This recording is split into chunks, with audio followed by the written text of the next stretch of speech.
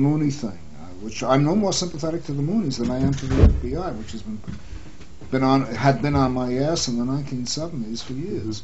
I had two FBI directors convicted on Fourth Amendment violations, and Reagan pardoned them.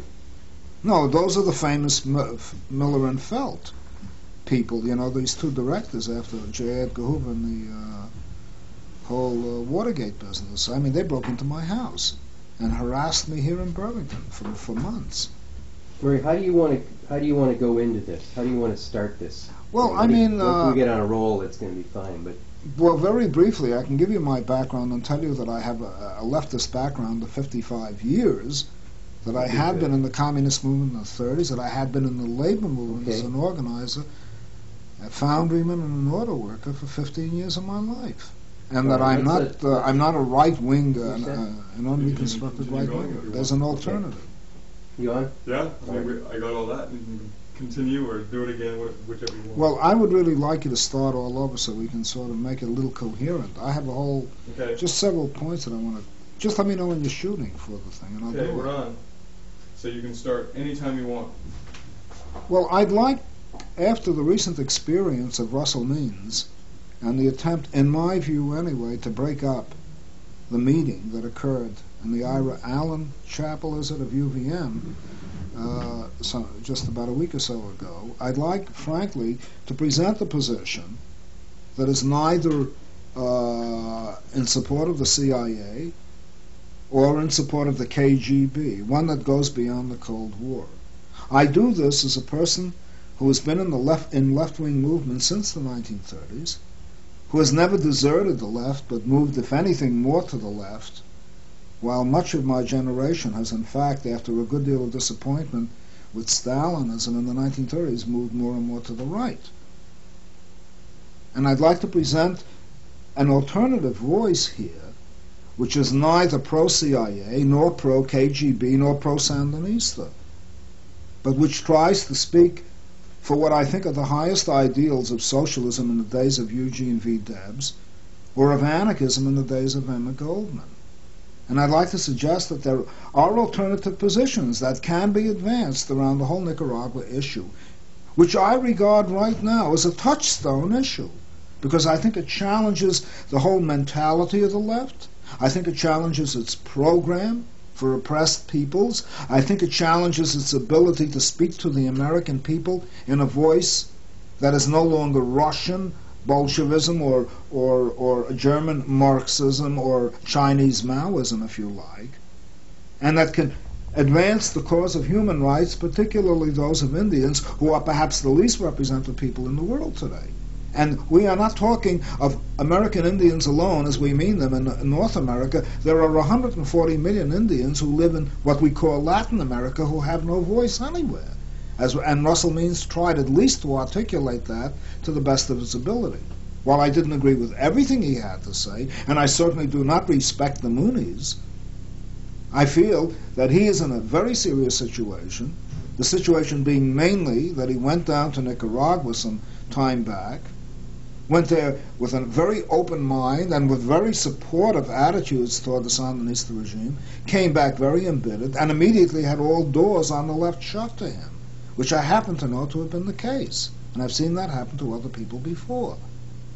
And I would like to suggest that this is a much more deep-seated problem than the way it has been presented up to now. The way it's been presented up to now, for example, by people like Doreen Kraft and Marvin Fishman, among others, for whom I bear no animosity, has been one of whether or not there were negotiations in 1985, was there an agreement in the summer of this, and was there a disagreement, or was there a falling out, were there mistakes, were there not mistakes? What I'd like to submit is that there are much more deep-seated issues involved in these negotiations. The first thing is that it is possible, I believe, to be a person of the left, or at least I would like to hope that you can be a person of the left, without swallowing a hard-line Marxist-Leninist ideology, or even a soft-line Marxist-Leninist ideology, and still be opposed to corporate capitalism, still believe in a society in which wealth, the wealth of the world is equitably distributed, human rights are respected, and yet not commit oneself to dictatorial policies on the excuse of CIA, CIA attacks or KGB attacks. And that socialism, at its best, in Debs's tradition, or anarchism, can rise beyond the Cold War and be independent as it once was years ago, of all sides in the world conflict. And this is what is a matter of deep concern. This is what the Nicaragua issue is now beginning to raise. Murray, where, I'm sorry to interrupt you, but where in, in Marxist Leninist writing or theory do you find the incompatibility with any kind of autonomous group, for instance, in Nicaragua or in the Soviet Union or in any socialist Mm-hmm. country, having a kind of autonomy and still being part of the country? Well, it depends upon what you mean by autonomy, obviously. I mean, cultural autonomy is celebrated in the Soviet Union. But the peoples themselves do not have any real autonomy. In day to day In, they, in real political life, they are controlled primarily from major centers, just as Paris controls France. So Moscow controls the rest of the Soviet Union, and to a great extent, and this is what worries me about the United States, Washington is controlling more and more of the country. The nuclear issue is one of the most striking examples that you can't make a move nowadays without the federal government preempting whatever the local population feels about a nuclear power plant. And one of the big issues that the green group that I'm associated with, and no way to be confused with another green group around here, okay, the green group is advancing a petition right now to disengage the federal government from complete control over the siting of nuclear reactors. Now that's what I call greater autonomy. Cultural autonomy, everybody likes to give lip service to. Even Hitler gave lip service to cultural autonomy, celebrating the Bavarians over the Prussians and so forth. That is not what we're talking about. Now, where in Marxism do I find this? I find this, first of all, in the Marxist concept in Marx's own writings, and heaven knows that I have studied Marx backward and forward. I find it in Marx's writings, and I don't have to cite them unless you want me to, where he makes the claim, beginning in the Communist Manifesto, that capitalism is a historically revolutionary force, that it is creating the preconditions for socialism by industrializing society, by breaking down all local bonds, and by detribalizing, as it were, earlier societies, bringing them into what he calls the mainstream of history, by which he means an industrial society. And he uses the word in the Grundrisse that capitalism is permanently revolutionary. Despite his criticisms of capitalism, he felt that it was historically necessary to go that route. And that route led not only to industrialization, but it led to centralization and it led to the nation state. Now, one can agree with that or disagree with it. There were socialisms that opposed that point of view. People forget or do not know that in Russia, the populists, the famous Narodniki, who later would to form the Social Revolutionary Party, did not believe that Russia had to go through capitalism.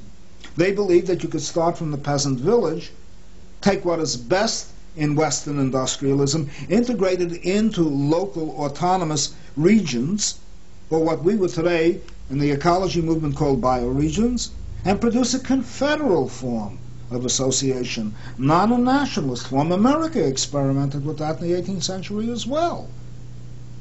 And I would go on to say that that recurred again in Spain during the Civil War, when the anarchists, whether one agrees with them or not, advanced the idea of workers' control of industry, of confederation, of regional control, in a balanced, rounded, and hopefully a felicitous society without the centralization and oppressiveness of the nation state. These were different routes to what we call modernization. And the world was faced with that in Europe going as far back as the 16th century. And it still exists today in a period of transition when we talk about communications revolution, decentralization, and local autonomy. Now, this problem is posed very sharply in Nicaragua. I don't see why there's any reason to deny that people like Borge, the Minister of Interior, or Ortega, are Marxist Leninists. I mean, I was a Marxist Leninist for 15 years. There's nothing to be ashamed of that. I mean, there's no need to hide that. But the point is, what are the criticisms of that view? And why, for example, did I cease to become one? And why is it that I support the Indian struggle in, in Nicaragua today? Now, I believe and I submit, and I want to say that this is very important, that I recall this as a communist, you'd promise anything to get support. Lenin promised land, peace, and bread to the peasantry and to the Russian people. The one thing that the Bolsheviks did not provide was land to the peasantry. They gave it, and then they took it back in the form of collectivization. So all these negotiations and all these different images that are created about some new kind of socialism being in, uh, being built in Nicaragua are, in my opinion, very, very dubious, to say the least. And the idea basically that Nicaragua had absolutely no other choice but either to go with the Russians because the Americans were attacking them, or to go with the Americans in order to escape the Russians, in my opinion, is inadequate. Do you know of any example in, in recent history of any kind of popular liberation revolution occurring where um, people were able to come up with a model that didn't go either into the east or west? Yes, I see it right now among the Misurasata Indians in Nicaragua, who are not trying to go to the east or to the west. That is a popular liberation movement. It has existed among Indians in other portions of Latin America, or so-called Latin America. There are 140 million Indians right now in what we euphemistically call Latin America, and they have no voice. And they carry on a struggle. And their struggle is for local autonomy against all sides in the Cold War. And the left has shut its face to this. It has shut its eyes, it has shut its ears to these struggles, and to some degree, whether well or inadequately, Russell Means tried to present that point of view, and many of my Indian friends are trying to do the same. Well, let me get more And. I would like to be more specific about what the Sandinistas could have done.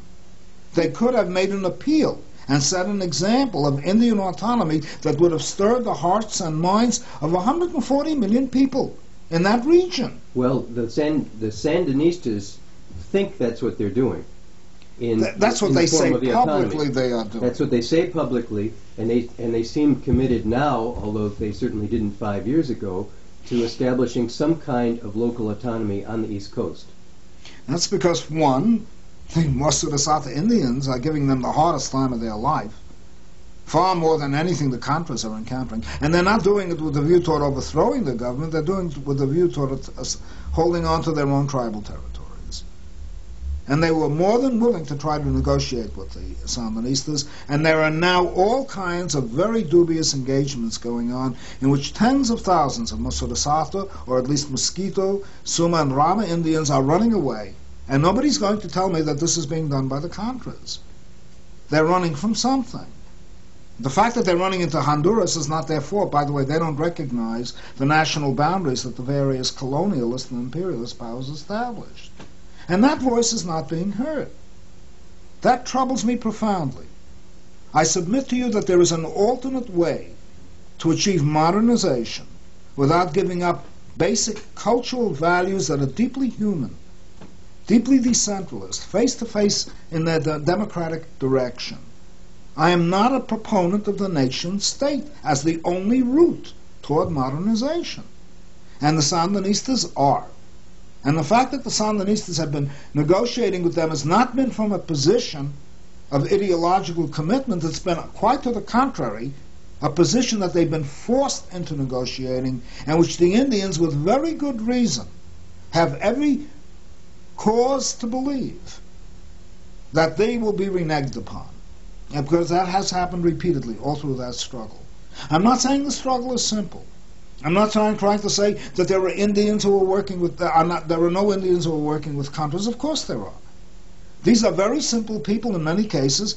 They have not read Marx, they have not read Lenin, they have not read giants like Borges and uh, Ortega. They have just seen what has happened to their lives and they'll take whatever help they can. But particularly the Misurasata and Brooklyn Rivera have shown the most honorable positions that I have seen. And this has been based not on visits that I have made, gu- guided around by Sandinistas, where pictures of Lenin have been removed and put in the closet. And this was told to me, by the way, by people who are supporters of the Sandinista regime and have gone to Nicaragua. I'm talking from a knowledge of Indians whom I've respected in America, who I know have been persecuted by the FBI and by the police. I'm talking of people up around Akwesasne area, the Mohawk people, and so forth. And very close friends of mine who I know to be absolutely independent of the Cold War. I only wish that many people who call themselves leftists were that independent. Why does your the the main target of your your venom seems to be on the left? And, and you single out Nicaragua as an example of a country that has a terrible relationship with its indigenous peoples. But certainly you could find many other examples of countries that have bad relationships with indigenous peoples. In. Absolutely, I'm not denying that, but it's precisely because people who call themselves leftists and take on the legacy of the socialist ideal come out and betray that ideal that particularly disturbs me. I have fought militantly, as outspokenly as I can, against what's been happening in Guatemala, what's been happening in Chile, what's been happening throughout the military dictatorships subsidized by American corporations and by the CIA. But right now, the Nicaraguan issue is a pinpoint issue because it's bringing all of these problems into focus. Can you In other words, the whole level is different. The Sandinistas, insofar as they would regard themselves as socialists, take on a special responsibility. It would be as very much as though you were to ask me whether or not a priest or a rabbi is to be held more culpable for his or her religious beliefs than the congregation. And I would say that they are far more responsible. And precisely because the Sandinista regime calls itself socialist, that I have to examine what it is doing and whether it's behaving substantially differently from the way in which ordinary people, and more particularly even some of the military, behave in Latin America. That's number one. And secondly, this focus is being forced upon me. And this raises another serious question. There's a whole element of ostracism right now that exists among the left. I am a leftist. And I find that when I try to communicate with brothers and sisters on the left, that there's this whole Nicaraguan issue suddenly comes up between us, no matter what we're talking about. It's like as though if you don't agree with them, you're their enemy. If you are critical of their position, if you want to correct a position, particularly when you have some hope that it could be corrected, because these people do claim to be leftists, you suddenly find a whole iron curtain is what's thrown in front of you. I've had people break off personal relations with me on Nicaragua. I've had friends of mine who I've known for years who have such an emotional commitment to Nicaragua. I mean, to some piece of socialist real estate, as it were, that they have forgotten that socialism is also an ideal, not a piece of real estate. And these battles were fought out just as vigorously in the 1930s, not only around German fascism, which I had every reason in the world to oppose. I mean, there we were really engaged in fights with fascists in the streets in, in New York City. What I'm talking about is there were terrible struggles within the left itself, and the Communist Party ostracized every independent leftist.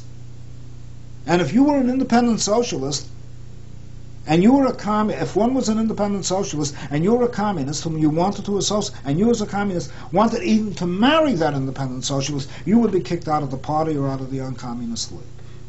I mean, when that kind of atmosphere develops, when people Why does ideas? Why, why, how do you jump from the ideal of socialism to that kind of paranoia, that kind of limited uh, authoritarian behavior? And is it, is it, is it necessary? Is it No, it isn't necessary, but it's gradually been built in since the Russian Revolution with a very hard line of Bolshevism. And I'm not trying to use the word Bolshevism as some type of derogatory term. Lenin was a Bolshevik. I was a Bolshevik at one time.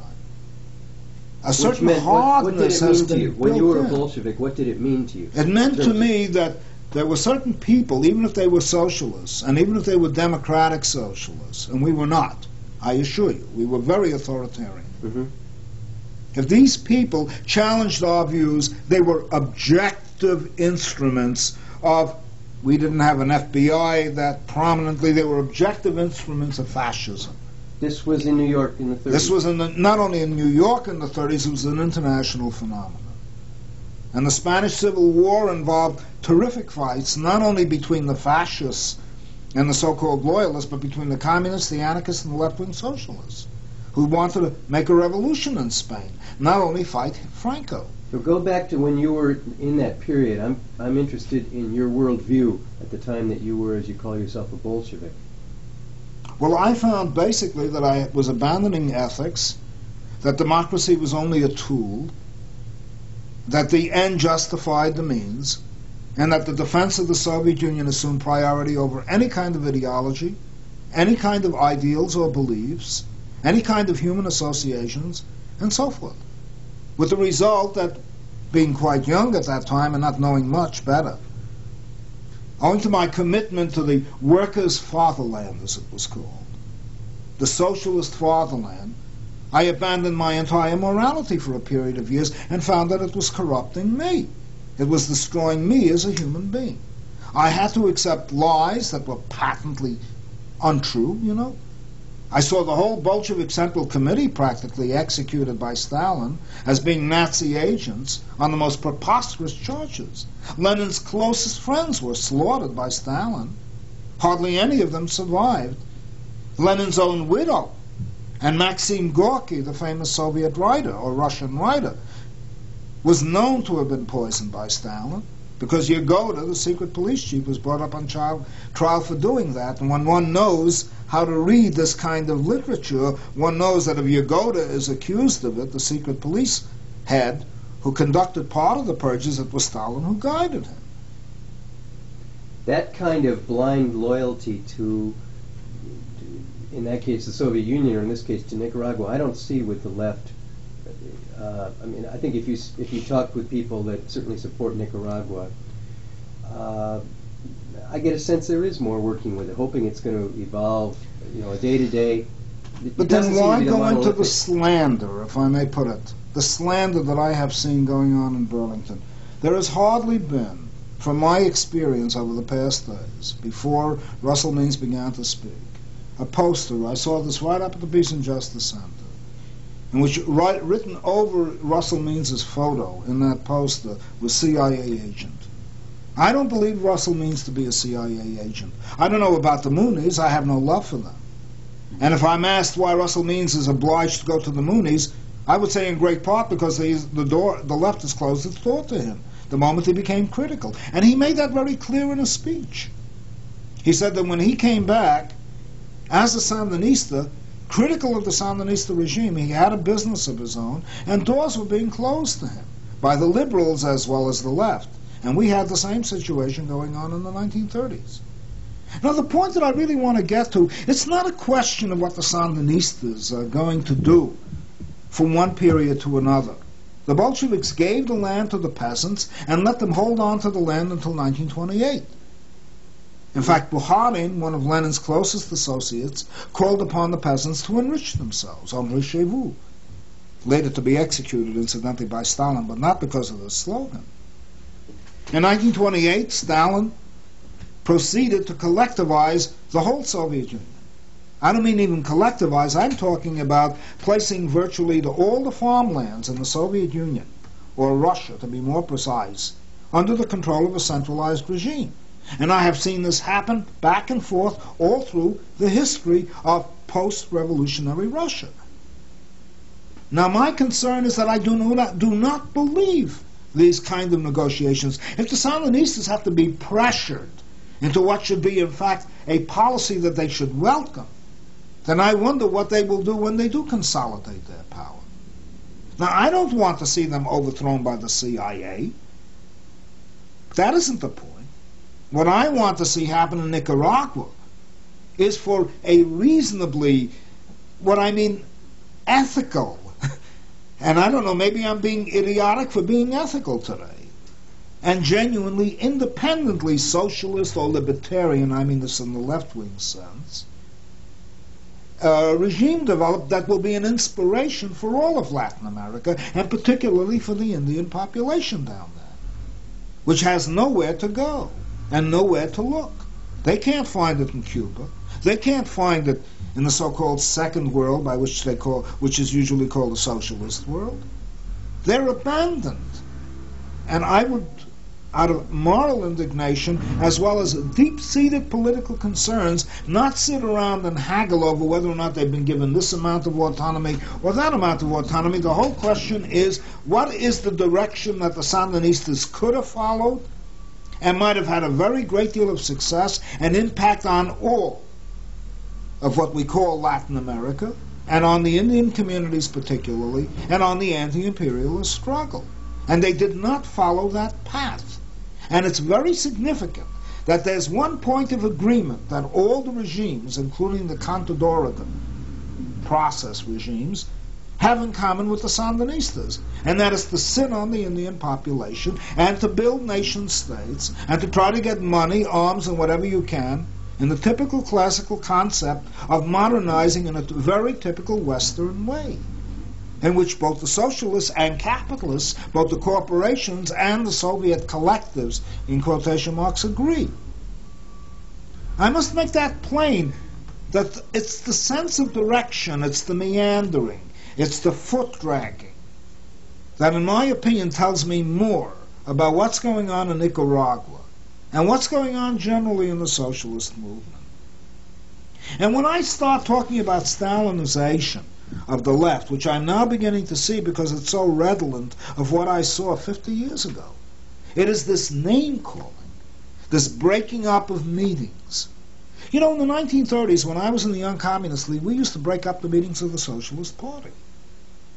We went in and we'd come in with rocks, and they had these little schools. They were called working men's circle schools, mainly socialist, not communist.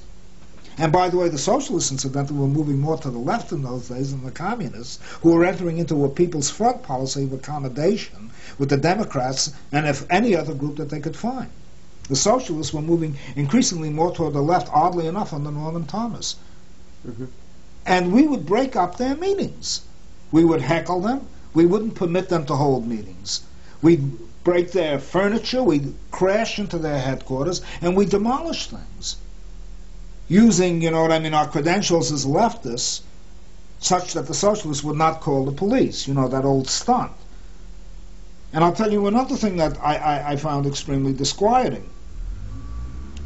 Not only were there breaking ups of meetings and everything like that, there was the characterization of people as CIA, well, in those days you were fascist agents and Nazi agents.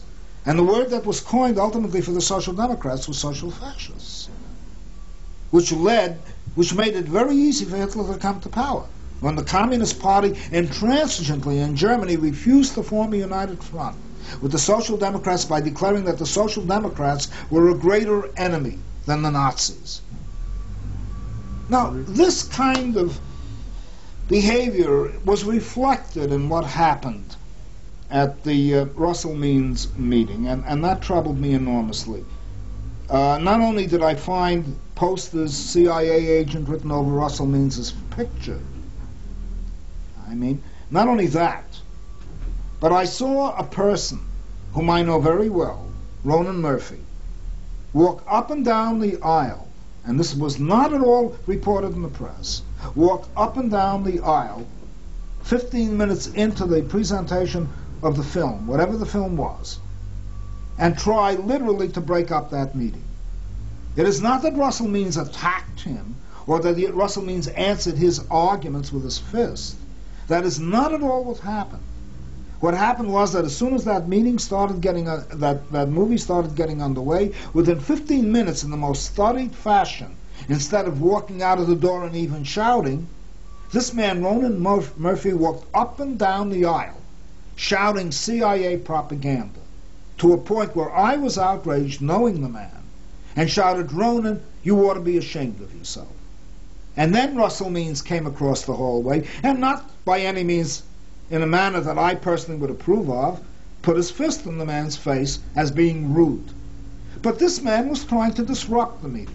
He then went out, and the press reported that he was beaten or struck by Russell Means because he objected. This was no objection. This is what we used to do in the 1930s. Disrupt meetings, and disrupt them in a fairly organized way in many cases.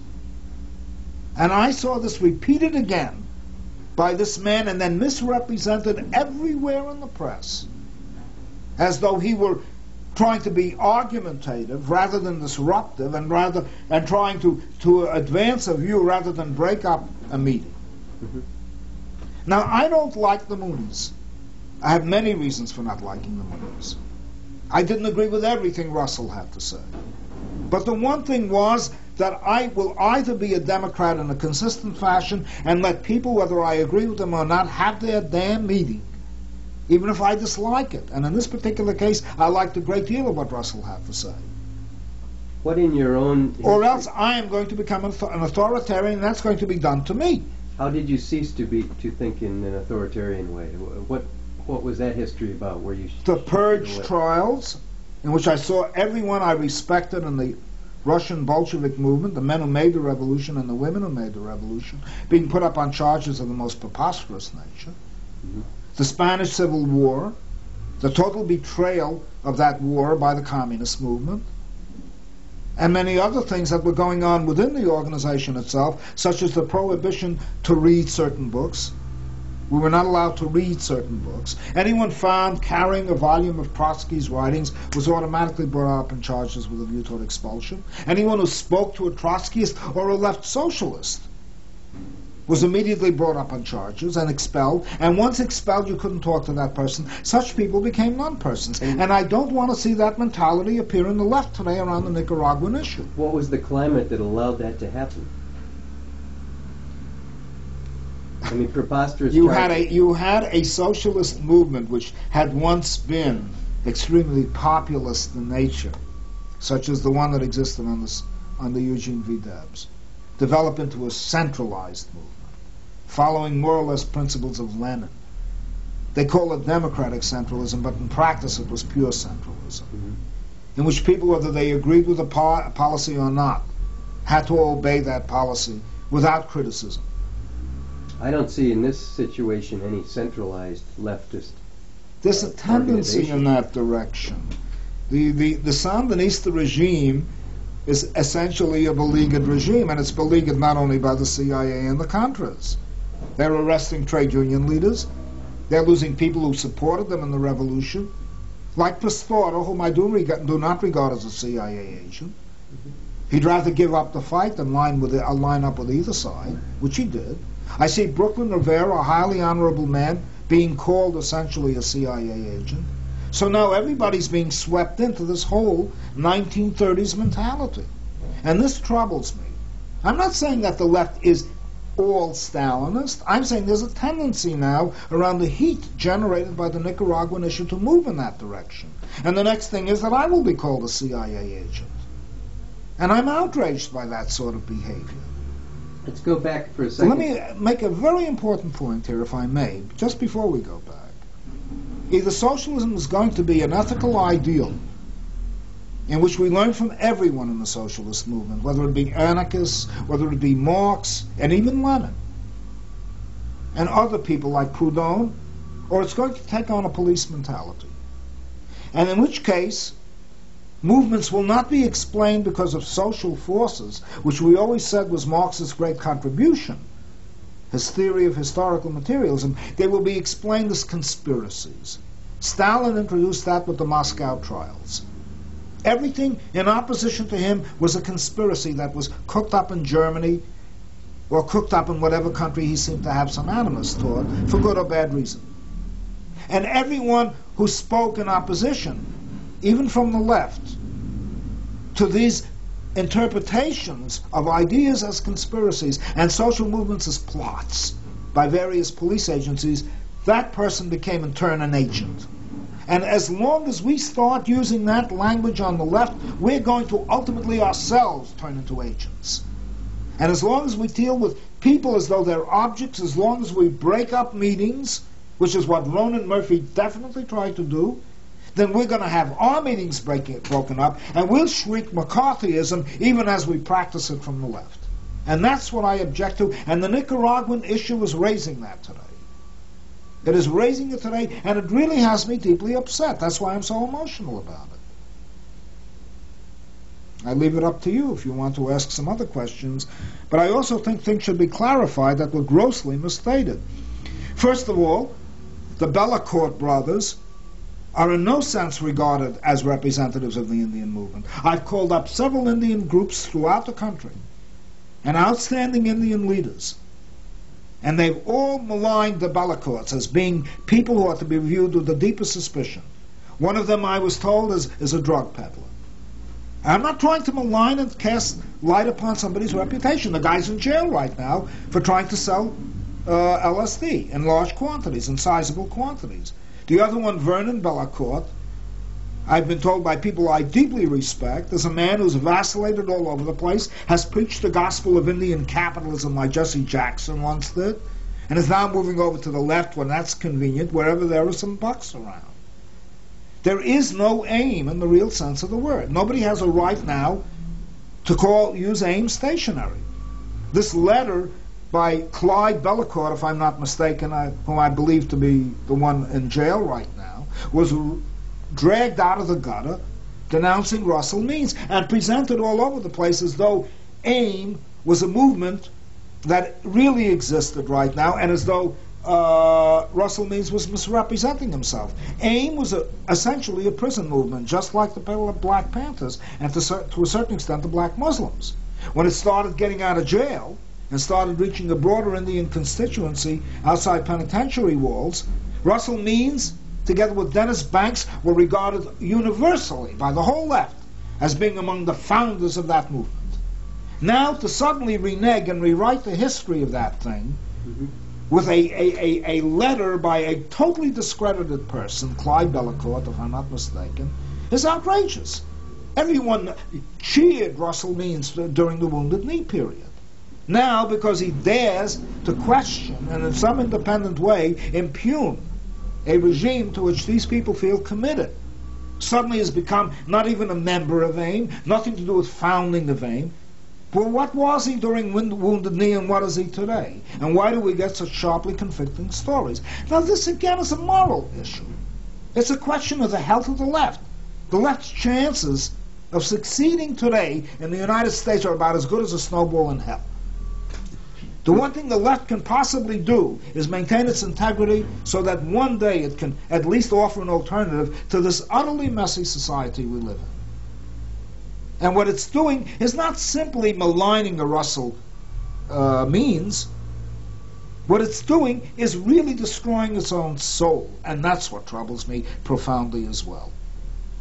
I'm concerned with the moral health of the left even if it means that all these people will break with me and accuse me in the most nervy fashion of being a CIA agent or a petty bourgeois, when in point of fact, unlike Bernard Sanders, I've worked for years in steel plants, in auto, have been in the United Automobile Workers before Walter Reuther ever became its president, was in the rank and file movements of foundry workers during the Second World War, and I'm accused of being because of some academic background and because I write of being middle class, petty bourgeois. And what do I know about the people? This has been thrown at me by very notorious Sandinistas in, in, in Burlington, Vermont. Can you talk a little bit about the Green Party that you're involved in locally here? Well, I've always been involved in ecology, going back to the 1950s, and there's an attempt to try to form something that will be even an improvement upon what exists in Germany today. Above either side in the Cold War, concerned with the quality of life, concerned with the reharmonization of people and the reharmonization of society with nature. A movement that will try to advance a new politics, genuinely popular, not the kind of parliamentary politics we have today and the kind of party politics we have today. I am one of the people who helped found this in Burlington. I have nothing to do with people who call themselves Greens whether they call themselves Northern Vermont Greens or anything else, who like have people like Ronan Murphy go in there. I'm not saying that they're responsible for it, but accept people like that and permit them to walk up and down and break up meetings. The people that I'm associated with, the Champlain Valley Greens, oppose those kind of tactics completely. What do the Champlain Valley Greens do? What what are projects that that you're involved in. They have been deeply involved in the waterfront. They are now involved in a petition campaign together with the Green Mountain Alliance, a newly formed anti-nuclear group that's working with the Clamshell Alliance, that is trying to petition for the modification or the alteration of the Atomic Energy Act, which is the only way we're going to get the federal government off our back on atomic energy. Otherwise, every effort is at best theater. Important as it is in mobilizing opinion and in educating people. It's trying to change that Atomic Energy Act. It's involved with the Green Mountain, uh, with the uh, uh, Green Mountain Alliance, in trying to close down the Vernon reactor now, not three years from now. We're not Johnny come latelys on the nuclear issue. None of us ever approved nuclear technology as a certain candidate wandering around did until suddenly it became a nice hot little issue to kick around. And we're not talking about three years from now, we're talking about now. But most importantly, what we're trying to do is create a new politics on a municipal level. And this is a very deep sense in which I feel very closely related to people like Brooklyn Rivera and the Misurasata. We're trying to establish more municipal control in our communities. We're trying to reestablish and rehabilitate the town meetings. We're trying to create and revitalize the neighborhood planning assemblies and turn them into real neighborhood assemblies. We're trying, in other words, to decentralize and put and empower the people, not to guide them, you know what I mean, like a general staff into another centralized form of control, with one man rule in Montpelier or one man rule in Burlington. We are deeply concerned not only with economic issues, and we have distinct programs and views on that. We are concerned with feminism. We are concerned with ecological issues. We are concerned with community issues. When you have an, an idea or issues that you're that you are promoting that are in the vanguard, are way out ahead of popular issues, how do you implement those, or how do you educate, or how would you, for instance, if if there had been a some form of revolution and you found yourself in a position of holding ideas that were not uh, universally held, what methods would you use to get the rest of the population moving in that direction? The most important thing for us, and I speak only for the Champlain Valley Greens to the extent that I, any one person can. I'm not speaking for any other groups around here that call themselves green. Mhm. and who uh, you know send people. I'm not saying they send people, but whose people go in and break up meetings. We would never do a thing like that because we're non-violent, and we also have a very strong commitment to democracy. But directly in response to your question, our approach would be educational. The most important thing we are trying to help develop is an informed, knowledgeable, and empowered citizenry. And that notion has just gotten out of the hand, head of a good deal of leftist politics today. I'm not getting informed or educated by many people on the left today who are running for public office and essentially replicating the uh, Democratic Party. I might as well go ahead and vote for the Democrats. What would you do in a situation where some outside interest that was opposed to yours was had a lot more money, power, clout, advertising, whatever you call it, to convince people not to pay attention to your message? By working locally, you know, you've heard this thing think globally and act locally. And the only way we could hope to really succeed against the mass media, which is corporately owned or committed to one of the prevailing ideologies of our time, is to operate and function on a local basis. And that's the only approach we have. And we have no other approach but education. If people do not change their lives, if they need leaders, as Eugene V. Debs himself said, to lead them into heaven, then they'll find leaders to lead them into hell. The main thing is for people to be their own leaders, as it were, to empower themselves. That is our approach. And we are not falling back on any European traditions anymore.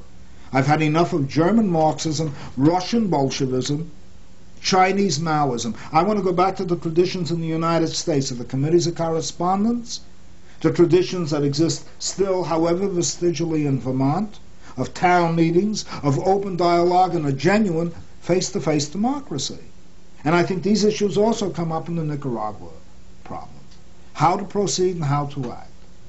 We are not that much interested in media. Our main interest right now is to talk to our neighbors, to talk to our communities, and to create those forms, those new political forms that come out of our own revolution, not out of some other revolution. Like committees of correspondence, like town meetings, that will re-empower citizens and create a new politics. And by a politics, I don't mean statecraft. When I see many leftists going out right now running for different positions, they are really engaged in statecraft.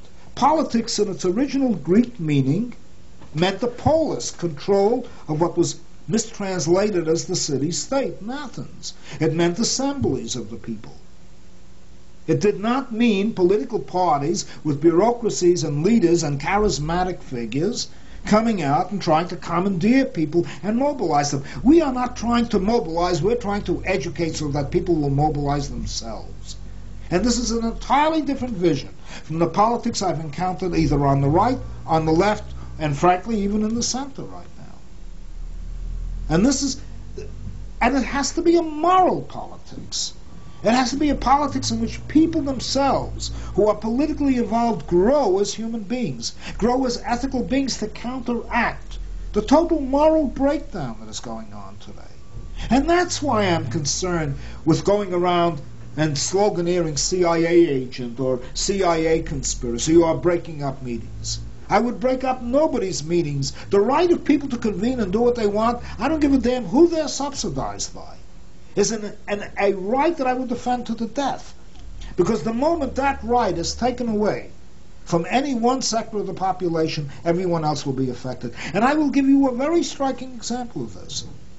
In the 1940s, a Trotskyist group, which was opposed to the Second World War on a Leninist idea that both sides were imperialist, was sent to prison for 18 months under an act with the support of the communists who had veered over from an anti-war position because of the Stalin-Hitler pact to a pro-war position because of the Stal- because of the invasion of the Soviet Union in, in June 1941. The communists at that particular point cheered on the Department of Justice in sending these 18 Trotskyist leaders to prison. Now, I'm no Trotskyist anymore. Far from it. But the point is that you know who, under what act the communists were later to be sentenced to jail during the McCarthy period? The very act that they approved of in sending the Trotskyists to jail some 10 years earlier. I find it supremely ironical, much as I was opposed to McCarthy at that time, to see the communists going to jail on very legislation that they supported against their left-wing opponents in the Trotskyist movement. In fact, their statement was that the act wasn't strong enough in the Soviet Union, these Trotskyists would have been shot. And this appeared in the Daily Worker around that period, I think it was 1942 or 43. And once we start getting in to denying a Russell Means the right to speak, or even permitting the Moonies to present whatever they want to say, much as I disagree with them, this will ultimately rebound upon us, demoralize us, and that's what I'm concerned with. What I'm concerned with is the moral health of what is called the left today. We've got to get away from this business that this is a CIA conspiracy and that this one is a CIA agent because that individual or that movement disagrees with us. The CIA is clear enough, and even where it's obscure, we'll unearth it. And if the Moonies are taking money from the CIA or being manipulated by the CIA, it should be said. But their meeting should not be broken up. Because once we break up their meetings, we're going to break up your meetings, and our meetings are going to be broken up, and finally we'll all be in this moral wreckage that appeared in Germany in 1932 before Hitler came to power. And that's what I don't want to see happen. Murray, what what do people do when after they empower themselves?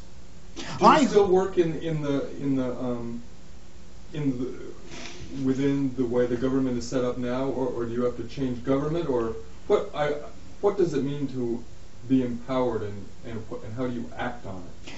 This is where I think a very important analysis is necessary. I've, I've dealt with it in my forthcoming book, which is coming out. Sierra Club is pu- publishing it. Sierra It's Club? called, yeah. Well, I, I've published with Harper and Row and, uh, and Alfred A. Knopf. That isn't, uh, and also I've published with left-wing publishers like New Society Publishers and Ramparts. And I, uh, you raise a very important issue.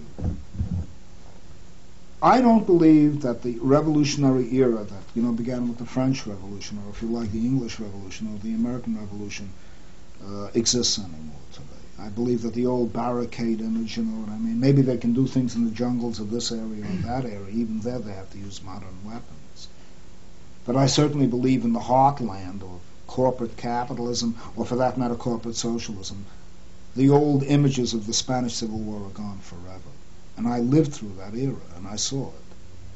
When it seemed as though you could change things, you know what I mean? What is called seize the power. More and more I've come to the conviction, and this is why I'm more oriented toward the American Revolution than I am toward the Russian Revolution, which was the model of the 20th century for decades, even for three generations.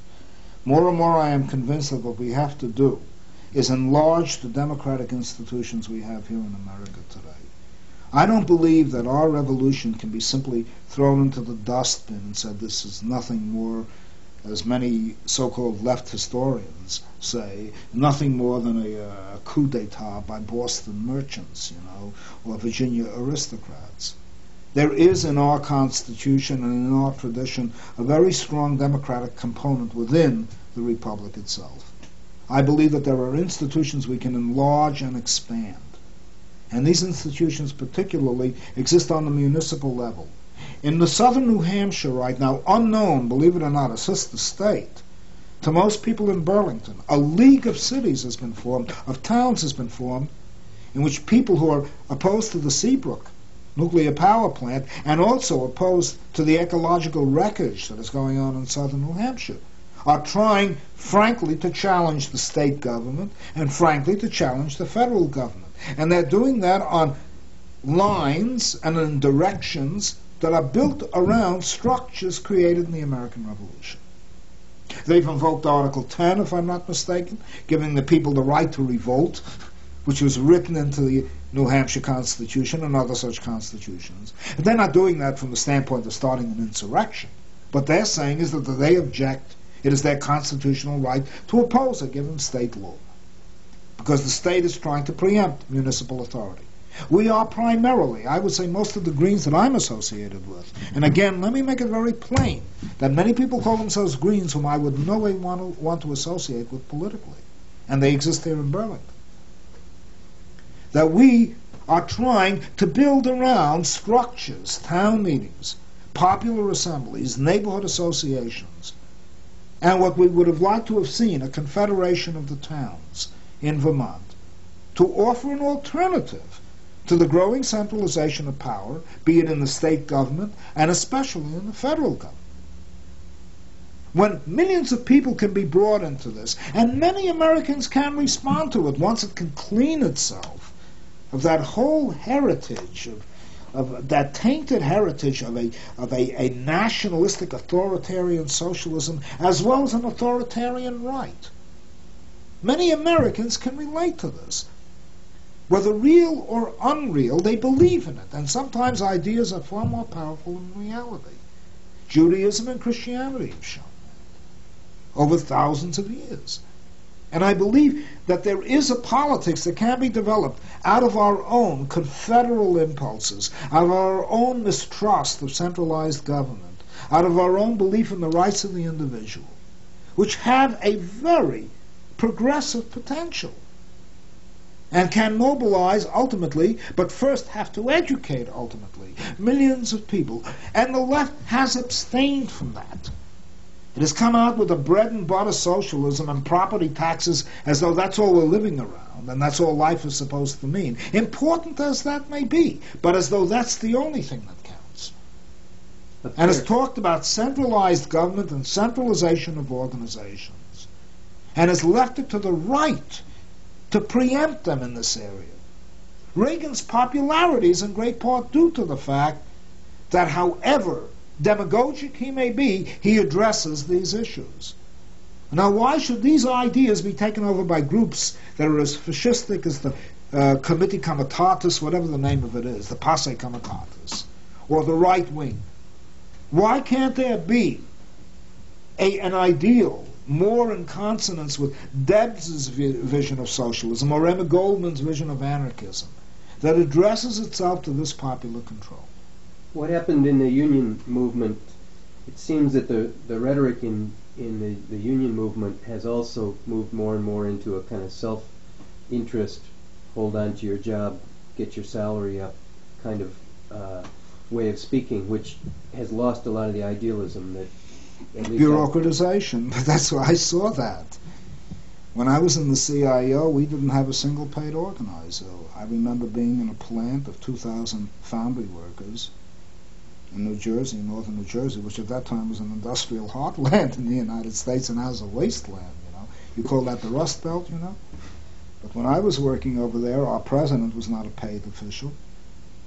These were 2,000 workers, easily we could have supported one, who amalgamated together with several other trade unions of a like kind to sustain only one business manager on an ordinary salary, so nobody would want to make a big career out of it. The only time we ever got paid was when we were doing union business, and we went right back to the shop. We had to maintain a living contact. I was the secretary of the local. We had to maintain a living contact with the workers because we were working right beside them.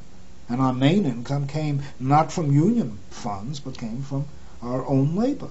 What has happened in the trade union movement tragically and pathetically, and I saw this most dramatically in the most militant union since the IWW, the United Automobile Workers. I was in the UAW before Reuther came in, as I pointed. I saw contracts being signed in which the company would pay the union officials. a president of a local became a full-time employee of the union by being paid by the company. The shop steward movement was destroyed, and what you had were traveling grievance men, you know, from the grievance committee, committeemen. And they would be on little carts. And they were being paid by the company to settle grievances between the union membership and the company, even though they were supposed to be trade union reps. I saw this come to an end very dramatically, I think in 1947 or 48, with the General Motors strike, which I was involved in, where Walter Reuther called out the workers for th- approximately three months. It was it seemed like, you know what I mean, a fight it to the death type of strike, and demanded that General Motors open the company books so that the union could see what kind of profit they were making.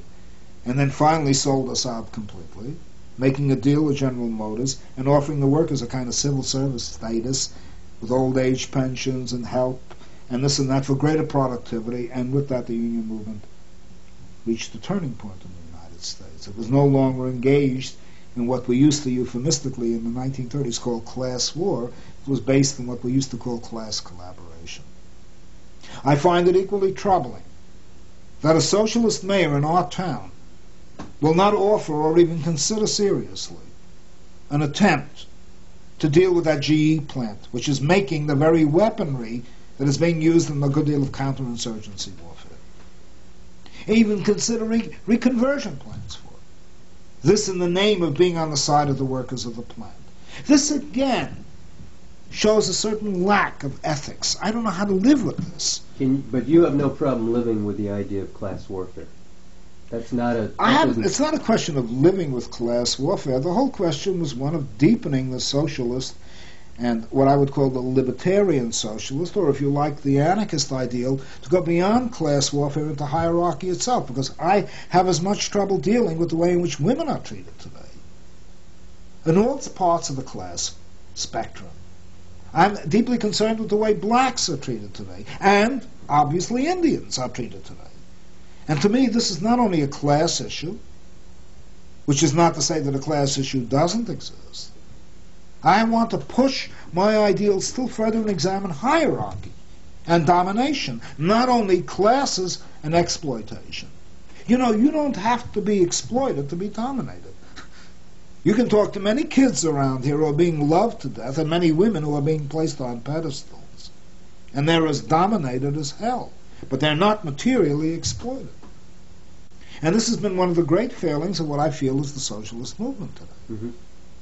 Or more precisely, I hate to put it in very frank terms, a movement that has gone from what was once a very democratic, very libertarian form of socialism in Debs's day to a very authoritarian form of socialism in Gorbachev and in uh, Lenin's day, or for that matter, in Trotsky's day. And I had once been a great admirer of Trotsky.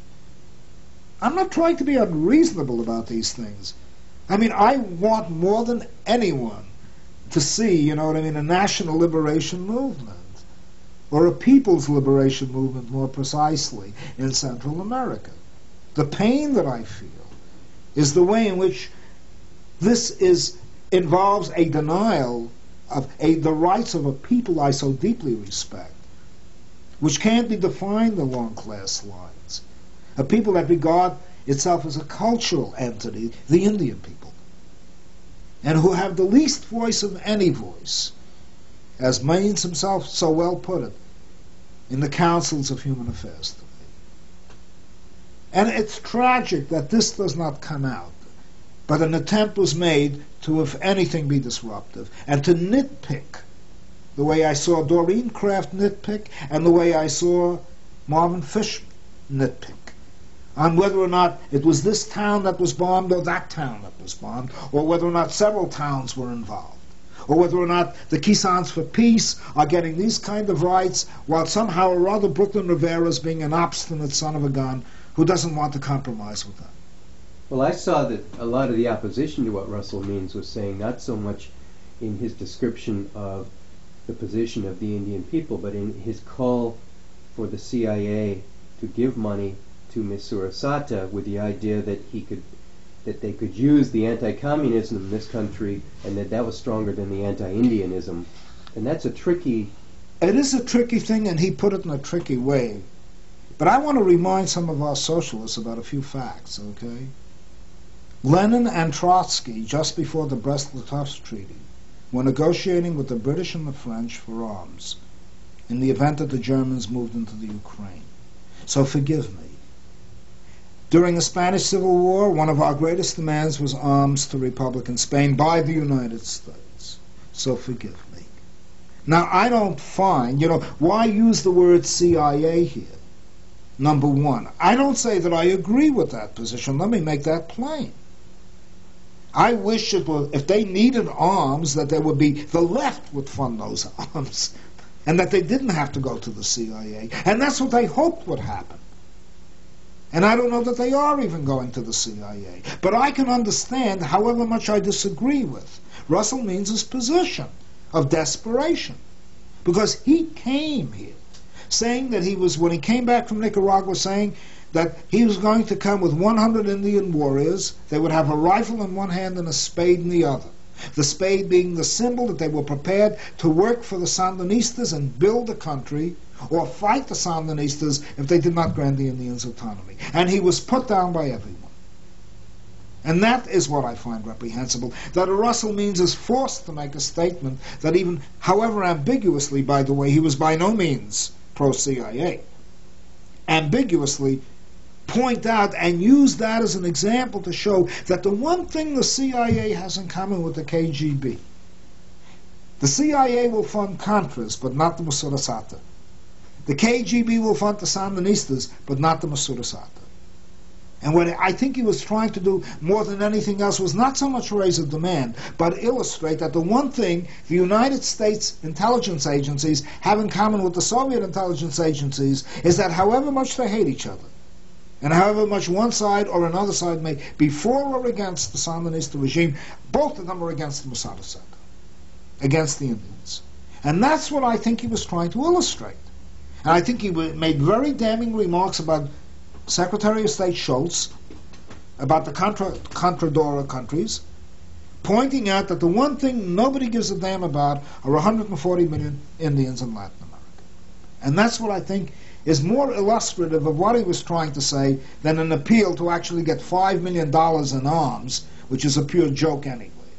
They would do much better if they collected their arms, you know what I mean, and raids on ammunition depots in order to protect their own territory. And let's be frank about it, they're not aimed at, at Managua. The Contras have their arrow pointed at Managua. They're trying to hold on to their own tribal territory and their position has been overwhelmingly defensive. And if we do not support them, their positions will understandably, even though I disagree with it, become overwhelmingly offensive. We're driving them into the hands of the of the of the uh, of the Contras. They're trying to stay independently of the Contras. And when we go around with words like CIA agent and everything like that and try to break up meanings, then at that particular point we've given up our integrity and our independence in Cold War. Socialism has become a tool of Cold War diplomacy, and that's what I fear more than anything else. And I think I'm finished. Thank you.